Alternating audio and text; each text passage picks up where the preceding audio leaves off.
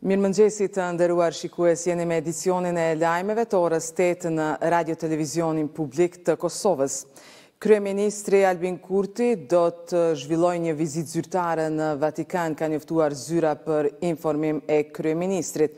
Sipas njoftimit, Kurti sot viziton Selinë e Shenjtë në Vatikan, ku do të takohet me Papa Françeskun dhe me Sekretarin e Shtetit të Selisë së Shenjtë, kardinalin Pietro Parolin.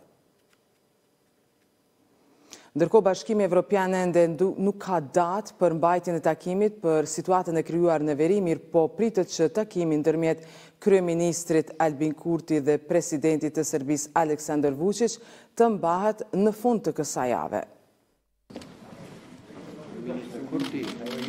Bashkimi Evropian akoma nuk ka datë për mbajtjen e takimit të krizës në mes të Kosovës dhe Serbisë, mirëpo po shpresohet se deri te ky takim do të vijë deri në fund të kësaj jave. Zëdhënësi i BE-së Peter Stano ka konfirmuar se ftesa e dërguar nga shefi i diplomacisë evropiane Josep Borrell i referohet mbajtjes së takimit për këtë javë, dhe se akoma po pritet konfirmimi i palëve në mënyrë që të shpallet data dhe koha e mbajtjes së takimit. Kryesorja është të kemi një datë dhe të kemi një kohë për të zhvilluar takimin, sepse nuk kemi kohë për të humbur dhe tani është vërtet koha për veprim e jo për biseda dhe spekulime, ka deklaruar zëdhënësi Peter Stano. Ai ka porositur se nga Brukseli është thënë mjaft sa i përket pritjeve dhe pasojave të mundshme në lidhje me këtë takim.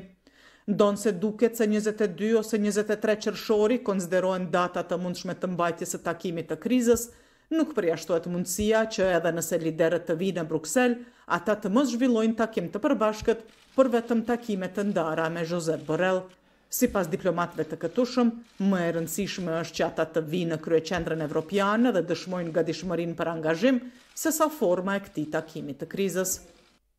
Këshilltari i Lartë i Departamentit të Shtetit Derek Chollet është takuar me të dërguarin special të Bashkimit Evropian për dialogun Kosovë-Serbi Miroslav Lajçak.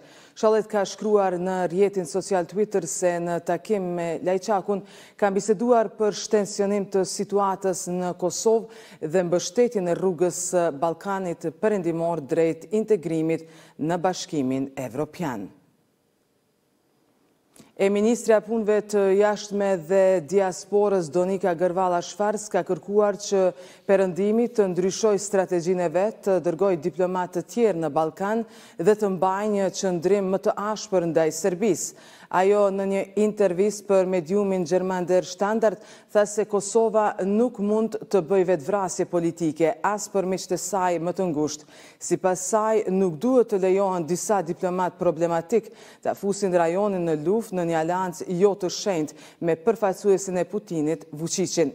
Në çdo rast, ne do ta mbrojmë vendin tonë sepse mbrojmë shtetin ligjor dhe demokracinë. Vuçiqin nuk e ndalon dot as me para, as me qetësim, vetëm me një qëndrim të qartë. BE-ja nuk e bën këtë sepse nuk është me një qëndrim, ka thënë ndër të tjera Gërvalla. Në pikën kufitare mes Kosovës e Serbisë në Merdar po lejohet hyrja e kamionëve me targa serbe, por të cilët bartin mallra nga shtetet e tjera. Ndërkohë kamionët me targa serbe që bartin mallra serbe vazhdojnë të mbesin të bllokuar pasi Qeveria e Kosovës ka vendosur që ata të mos hyjnë në territorin e Republikës së Kosovës. Qeveria e Kosovës ka vendosur të ndalojë hyrjen e kamionëve me targa të Serbisë si shenjë reagimi për rrëmbimin e tre policëve kufitarë të Kosovës nga njësitet speciale të Policisë së Serbisë, rast ky që ndodhi disa ditë më parë.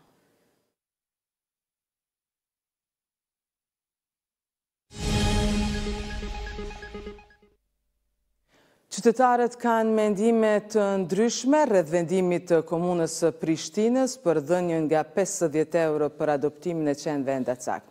Por kryetari Përparim Rama thotë se ka disa procedura për ata që duan të adoptojnë një qen endacak. Vendimi i tij po përkrahet edhe nga organizatat për mbrojtjen e kafshëve.